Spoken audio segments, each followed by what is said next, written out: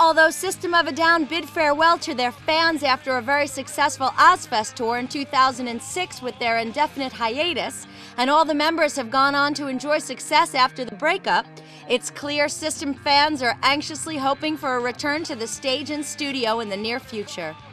With Serj Tankian capturing mainstream success with his album Elect the Dead, and with John Dolmayan and Daron Malakian continuing to tour in support of Scars on Broadway's debut album, and bassist Shavo Odadjian continues his successful endeavors of Achozen, it seems they still can't get away from all the questions about System of a Down.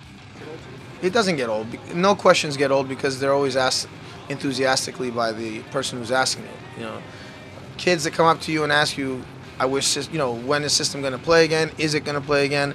Well, they're very enthusiastic when they're asking those questions. You know, it means something to them.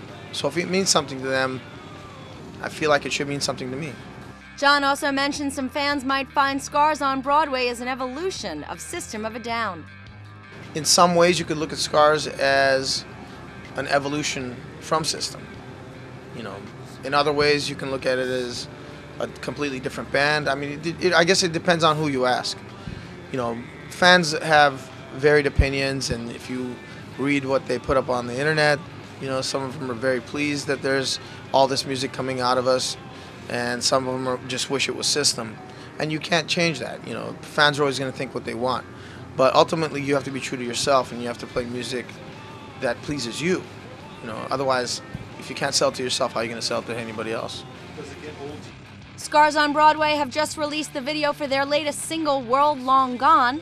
And Scars has also just announced their first ever headline tour in North America, and they'll be joined by the Duke Spirit. Dates begin October 19th in Atlanta, Georgia, and extend until November 26th in Houston, Texas. In other news, Serj Tankian is back in the studio working on the follow up to Elect the Dead. Although nothing is set in stone, Tankian will look to have his next album released in 2009. Wanna choose, always wanna play, but you.